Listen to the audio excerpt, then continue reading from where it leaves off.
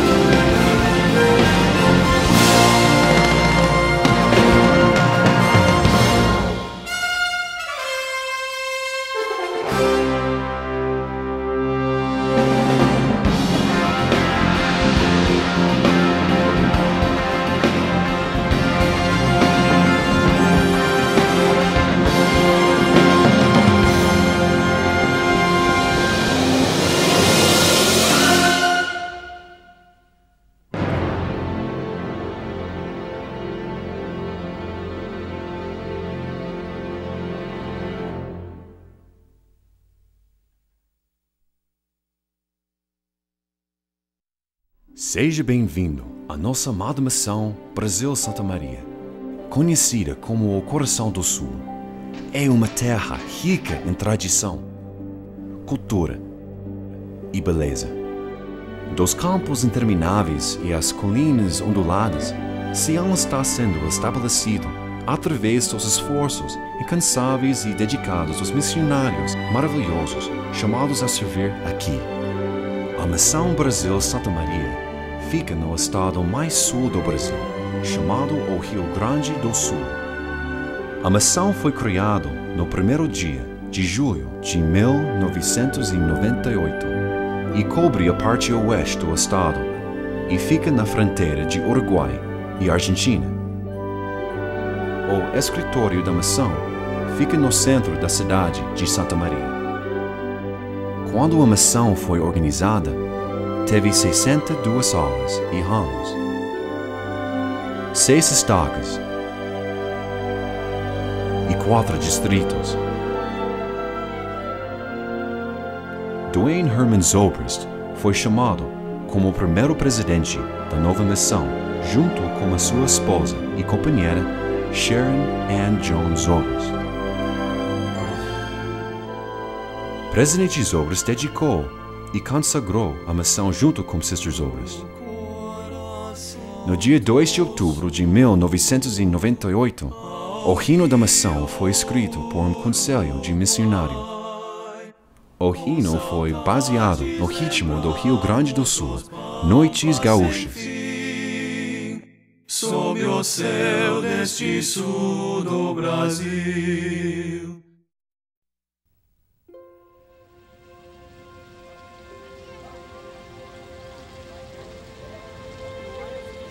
Fortaleza, nós ensinamos algumas famílias. E tinha alguns jovens que frequentavam a igreja. Era a Helena, a Ana e o Sávio Linhares. Muitos missionários já tinham ensinado a sua família. E quando eu soube disso, porque já tinha no Rio batizado e completado muitas famílias. Os filhos não eram membros, nós completamos as famílias, batizando os filhos. Quando eu cheguei lá, vamos, vamos trabalhar, então vamos batizar essa família. Mas ninguém era membro da família depois de visitar, ensinar muitas vezes, o missionário já vim dando as palestras muitas vezes. E nesse meio tempo eu recebi uma carta muito triste, acho que foi o dia mais triste da minha vida. Meu irmão mais velho, Luiz Felipe, ele escreveu uma carta contando a morte do meu irmão Modesto. Eu saí daquele dia e fui visitar a família Linhares. Muito nós tínhamos já ensinado, procurado convidar para o batismo e pedia permissão para batizar os filhos, que não, não queriam batizar ainda. E eu prestei testemunho para a família. E aí o, o pai do Linhares, o Linhares, disse pelo sentimento que eu tive agora, a maneira com que eu senti é muito claro para mim. Sei que tudo isso é verdade. Sei que a igreja é verdadeira. Eu não posso ser batizado agora, mas por causa dessa, dessa experiência, os meus filhos mais velhos estão autorizados a serem batizados na igreja. No dia 27 de agosto de 1976, Presidente Linhares foi batizado. No ano de 1986, ele e Sister Linhares foram casados e criaram três filhos maravilhosos. No dia 3 de julho de 2001, Presidente Linhares chegou na Missão Brasil Santa Maria e foi recebido pelo missionário que o batizou. O povo gaúcho recebeu o presidente e a sua família com braços abertos. Todos se apressam a tomar seu chimarrão. Eis que a grande obra já começou. E chegaram num apartamento conhecido como a Casa da Nação. O presidente ficou acostumado bem rápido ao churrasco. Mesmo com o Sista, Alexandre, Lívia e Vivian. Presidente Castro foi chamado como primeiro conselheiro na presidência da nação e presidente Pinheiro foi chamado como segundo conselheiro. Não há, não há noite mais azul, azul do que as noites do Rio Grande do Sul. Soldados que combatem o mal. Vamos marchar, vamos marchar. A coroa nos espera do vencedor. Vamos conquistá-la com valor. Começando às seis e meia, os missionários levantam para um dia glorioso e novo. Eles estudam as Escrituras e comem uma boa refeição de pão e cereal, numa cozinha bem limpa. Quando tem tempo, eles fazem exercícios, engraxam os sapatos e fazem outras tarefas. E às nove e meia, eles saem de casa e andam andam, andam.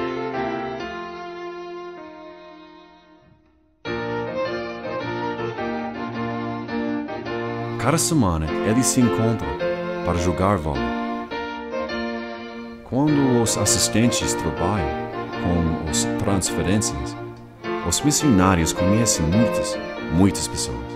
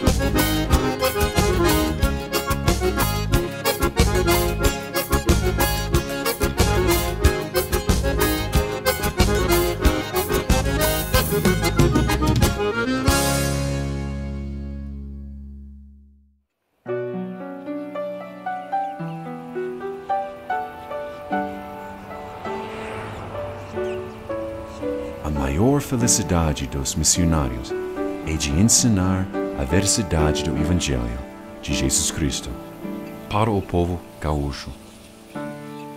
Nunca testifiquei do Salvador. Eu não sabia o que dizer. Mas se meu coração é puro, tendo prontas minhas mãos, Ele me promete que a voz encontrarei. Depois que eu comecei a ouvir as, as palestras e as mensagens, é, depois que os missionários começaram a frequentar nossa casa e nós começamos a, a ir à igreja todos os domingos, ah, muitos caminhos abriram na nossa vida, a nossa vida espiritual mudou bastante. E foi muito interessante como os missionários chegaram a mim, né? Eu tive, sou muito feliz por isso que eu tive duas oportunidades. porque guardar meus dons pra mim. Se eu posso ajudar alguém, sou testemunha do seu grande amor, do milagre. E eu sei que ele é muito importante na vida das pessoas, na vida das famílias. Eu sei que as famílias, todas as famílias precisam muito dos missionários em suas casas. da verdade não falar. Pois tudo que sou é por causa do amor pelo Salvador.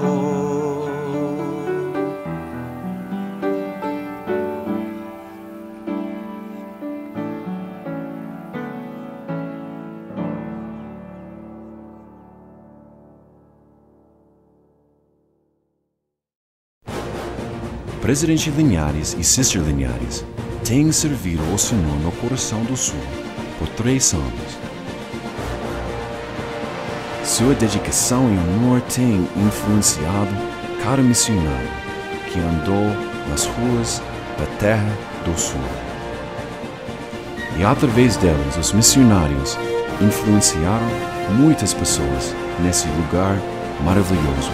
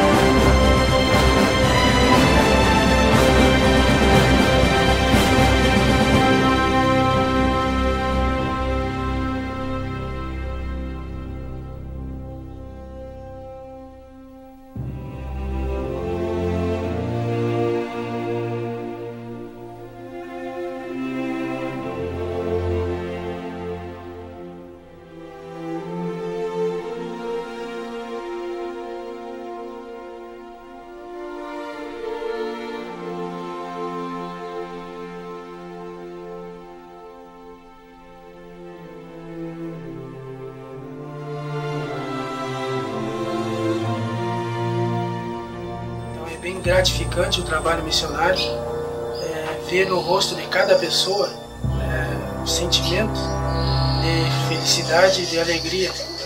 Maravilhoso! São os irmãos para mim.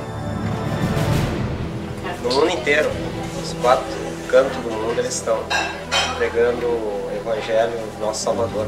Eu acho que não existe palavras que possam expressar isso.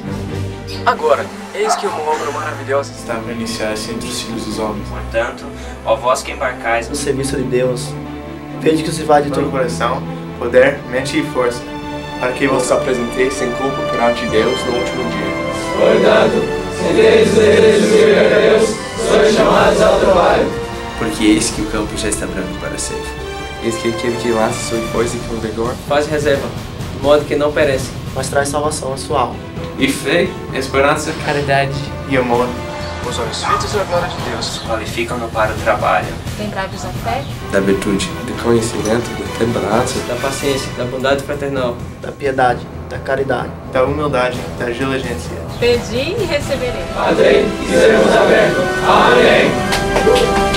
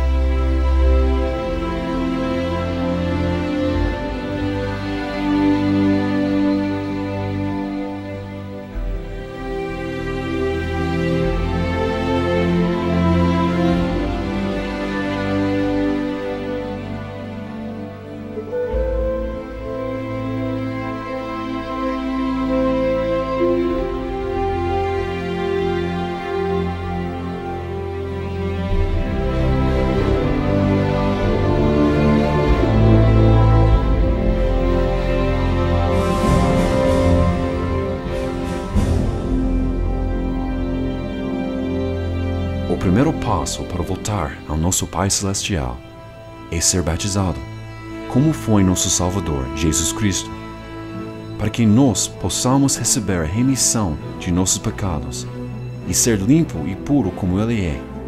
Através de um profeta chamado pelo nosso Salvador, a verdade que foi perdida tem sido restaurada em nossos dias.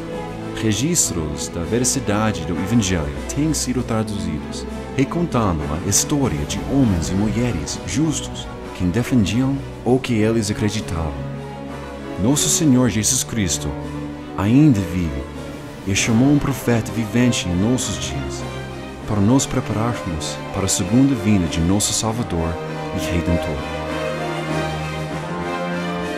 Os missionários no mundo hoje estão ensinando os princípios e ordenanças que foram ensinados pelos apóstolos antigos, começando com aquele primeiro passo, o batismo.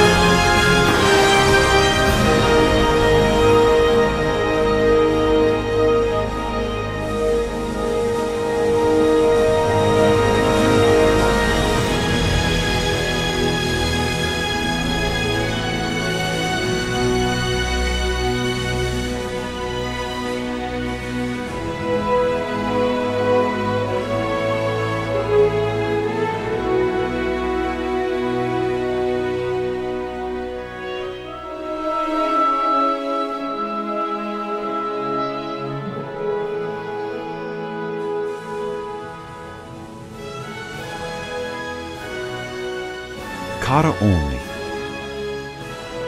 cada mulher, cada criança, cada pessoa aqui no mundo é um filho de nosso Pai Celestial. Cada missionário aprende de amar esses irmãos e irmãs com todo de seu coração e tenta passar sua felicidade para este povo, o povo gaúcho.